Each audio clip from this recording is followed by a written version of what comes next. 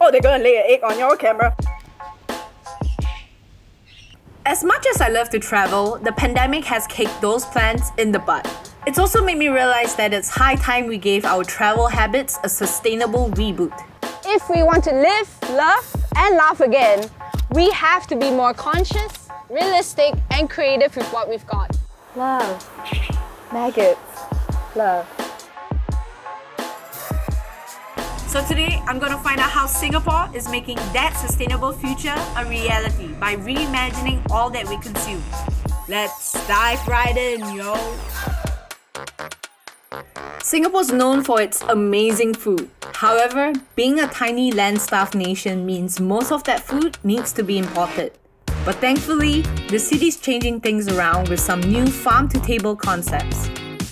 But forget about the table for now. Let's talk about the farm. A farm that's using innovative solutions to grow non-native produce. And it's in the place where you least expect. An office building. Welcome to the future of growing plants. This is Benjamin Swan, the brains behind Singapore's very own kale. Am I ready for the future? Okay, yes. What we do is we actually control this environment and we use technology to replicate what happens in nature. So this is still natural. So it's free of pesticides, it's free of heavy metals and pollutants.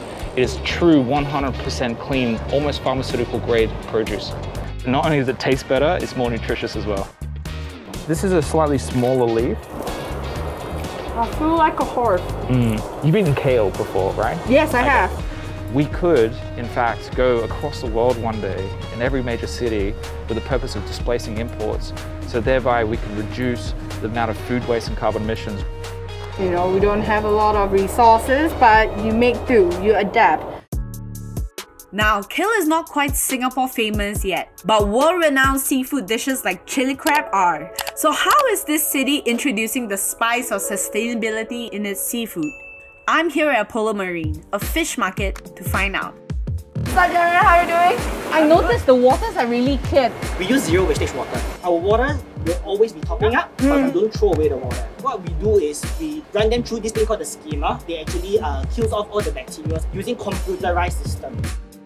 Who knew that using recycled water was a way to getting fresher seafood? I didn't, but I can't wait to try it. Go, go, go, go, go, go, go. Okay, actually it's nothing lah. I was just like sucking myself. I'm gonna shuck these oysters right now, and I'm gonna shuck it good. Oh my gosh, I did it!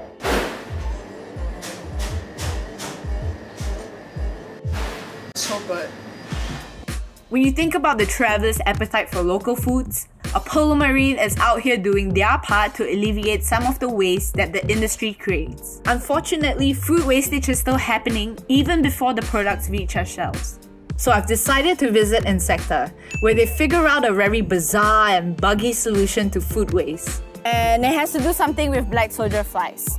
I don't know what, but I'm here to find out. It's hot. Welcome to Insectta. Mm-hmm. That's the farm behind me. Mm-hmm. So Insectta is Singapore's first biotech company mm-hmm. and farm rearing the black soldier fly. These guys are munching on Singapore's pre-consumption food waste from our factories. They are turned into rich animal feed, fertilizers, and even transformed into electronics and skincare? Over here at Insectta, we are pioneering not only the technology but the outreach and education as well to get people comfortable with Yeah. the idea of having insects as a beneficial resource. Insects are the future, yeah. Let's go. Zzz, zzz. Time to educate myself. First step, make friends with our future heroes. Keep calm and uh, soldier on. Like, so should I soup it in or? Yeah, you can put your whole hand in inside and get the full experience. Okay, okay, okay, okay. Ah! I'm so ticklish. So these are the pre-pupae stage, right? Oh, okay. Yeah, it it looks, it looks, it looks beautiful. This is the mating chamber. Yeehaw. Come on, come on. Yeah, we're going right into the heat. Yep. Hey, ho, hey. This is where Insectta breeds their flies. A cage chamber for the little guys to mate and lay eggs in a contained environment. Uh, okay. How are you so calm? Why are you so calm? Because I know that they're not going to hurt me. the black soldier fly, the gift that keeps on giving. So there was a lot of bugs on me just now, and I'm feeling kind of hot and sticky from the heat. And luckily in Singapore, there's plentiful of opportunities for me to do a quick switcheroo, freshen up myself. I'm about to head into Little Match Girl. One of Singapore's fast fashion and conscious clothing labels. They're trying to undo years of environmental damage caused by the fashion industry, one snazzy dress at a time. They've pivoted to using Tencel as their superstar material. Tencel is a biodegradable fabric made from sustainably sourced wood, giving way to what we know as slow fashion, a growing movement to reduce waste in the fashion scene. To me, slow fashion is actually the trend right now, and in the future, I would say that uh, this is a direction that uh, everyone should go in towards too. All this talk about slow fashion has got me thinking. To know more, I'm on my way to meet a designer whose label has always stood for slow fashion. But beyond just using sustainable materials, they realized this. it's also about how these products can help us be more mindful about our lifestyles. Welcome to Grey. So what does slow fashion actually mean, especially to like a average consumer like myself? For fast fashion, you do more uh, trend-focused products and you can ignore what you have produced along the way yeah, so being slow fashion, the, the concept is about make something good that can last instead of just churning out more things. At Grey, we always we focus a lot on the design details. Creatively, making things multi-use, multi-wearing. Mm. So really making it versatile, genderless, seasonless, and functional. Customers are more careful about what they shop nowadays. And they do realize that our purchasing behavior actually makes a difference. Mm-hmm. It's really a reminder for me mm-hmm. to practice sustainability throughout the whole business. Mm-hmm. Like you can design anything you want in life. Both designers and consumers have a role to play when it comes to solving all that's wrong with the fashion industry today. In a world that wants you to buy more and more, it's refreshing to have sustainable brands that encourage us to shop more consciously.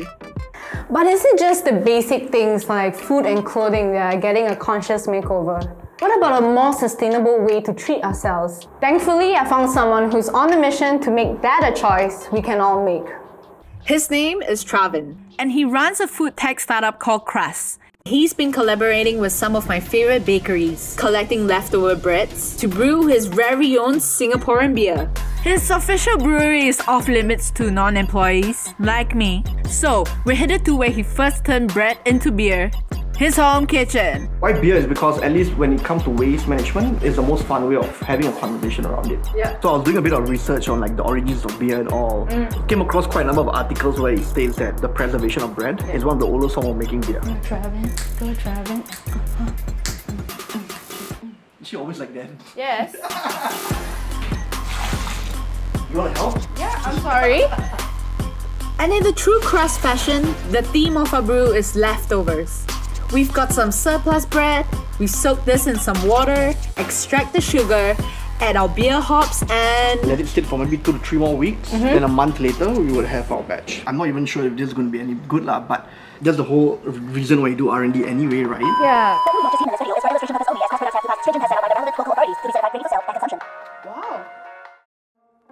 Since we can't get drunk off this batch yet, we decided to head out for some good old happy hour and try out a fully realized and quality check version of Travin's beer. Travin, you took that DIY spirit, you know, and you just open it up and share it with someone like me even. And then if that's what it's all about, cheers to that, bruh. Yes? Cheers? Okay. Cheers.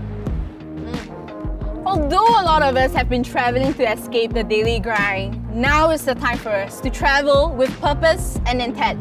The places that I've checked out are a look into the future, and it's all about reinvention, innovation, and finding new opportunities. Now that's a plan I can get behind as we open up to the rest of the world. My name's Ashley, and I'm out.